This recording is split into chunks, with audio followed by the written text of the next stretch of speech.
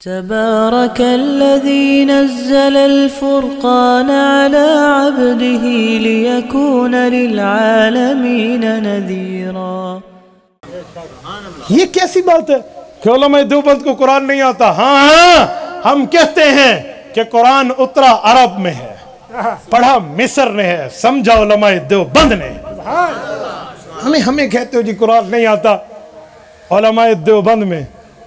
اردو زبان کے اندر اس دھرتی پہ سب سے بڑی قرآن کریم کی تفسیر سواتی برادران کی موجود ہے۔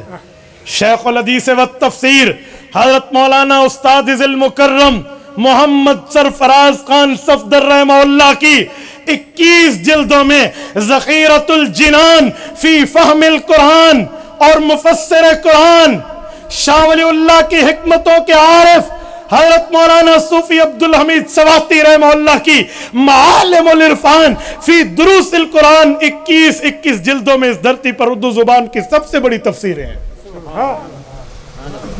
دو جلدیں مانگ کے وہ بھی مانگے تانگے، کوئی کہ اس کی ہے، کوئی کہ اس کی ہے۔ آج تک فیصلہ نہیں ہو سکا کہ جواہر القرآن حضرت مولانا غلام اللہ خان کی ہے سجاد سجاد بخاری کی ہے۔ آپ مانگے تانگے کی تفسیریں لکھ کر بات کریں اور اعتراض علماء دیوبند پہ کہ انہیں قرآن کریم نہیں آتا؟ یار، شیخ الحدیث، حافظ الحدیث والقرآن، مولانا عبداللہ درخواستی کہاں جائے گا؟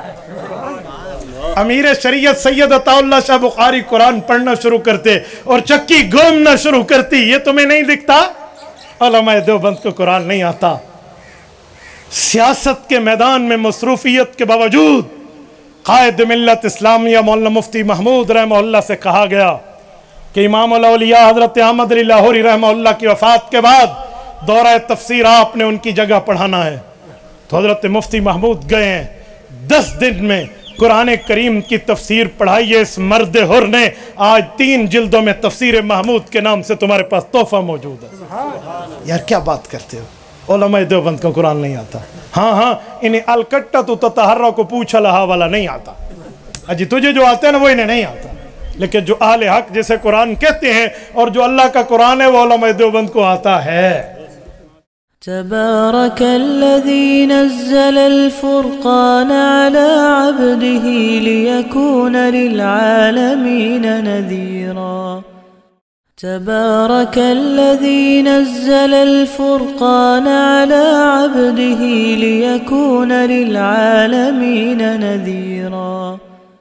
تبارك الذي نزل الفرقان على عبده ليكون للعالمين نذيرا. تبارك الذي نزل الفرقان على عبده ليكون للعالمين نذيرا. تبارك الذي نزل الفرقان على عبده ليكون للعالمين نذيرا.